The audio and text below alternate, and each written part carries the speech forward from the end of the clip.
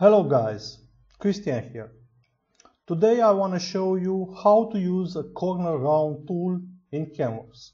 It's very easy and very handy for, let's say, this part who have a corner round filet on the interior on the exterior tool. So I will define for the exterior a boss which will start from here to here.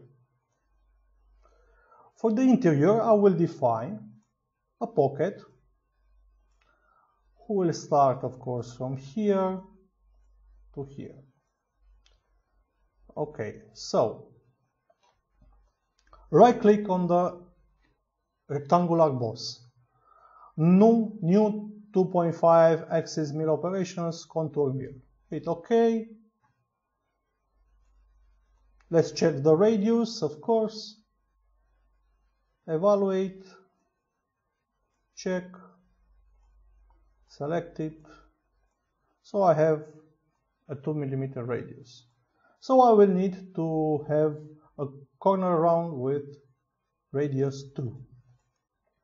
It's very easy. Go to Tool, tool crib from library, add a new tool, and here it's corner round. This is a corner round tool. Very, very good. So let's add this one. Let's change the comment. So this is a corner round air to tool radius to body diameter, shank diameter, flute length and so on, I will leave it the default values. Okay, right now all I need to do is generate an operation plan. As you can see right now, if I simulate it, of course, when you use a corner round, you will need, in most cases, only one toolpath on the Z direction. So the first, the first for me is, and the second is this one. So go back, modify the first cut amount maxing cut amount. I put here bigger values in order for me to have only one, only one path. So,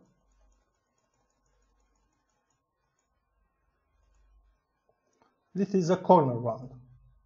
Okay, let's check for the corner round if the Z coordinate is good. So, my, my program 0 for the Z direction, it's on the front face.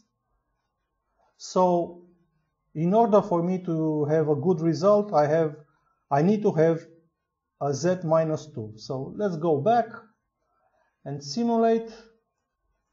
And the first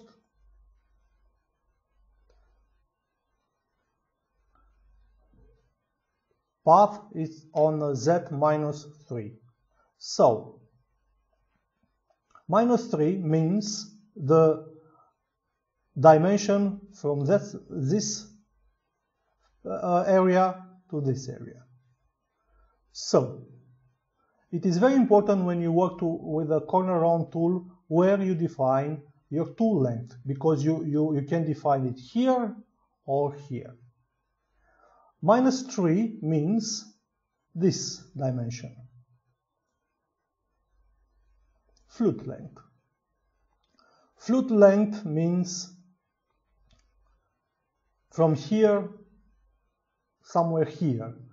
In my opinion, I recommend you to use it, the flute length, exactly the same like the, like the radius, and now generate the toolpath.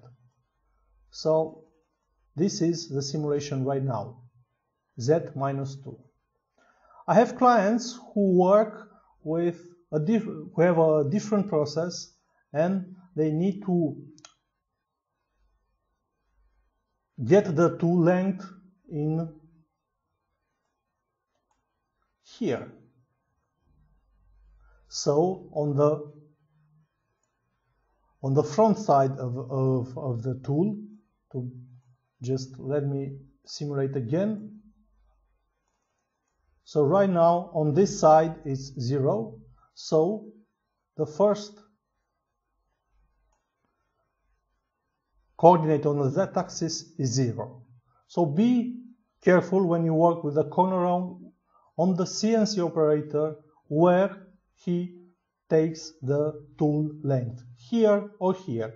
If he chooses to, to put it here, to take it here, because in some cases it's much easier, just go CAMWorks tool and use output through tangent. If you use the other way around, you can use it, the tip function in the tool, if you use it this area. Of course, this is for exterior, so for corner round exterior I use a rectangular boss. For the interior I use a pocket, contour mill, of course I can save the operation plan and use it um, use it later, but right now I will insert it manually, link the two operation to get the tool, I'll link it, and then right now I have the tool the feed and speed and so on. So let's simulate corner round for the interior. Let's simulate tool path again using the stock. So the first corner round and the second corner round. Very easy using a corner round tool in CAMWorks. Thank you for watching. If you have more questions, feel free to contact me via my LinkedIn profile or YouTube channel.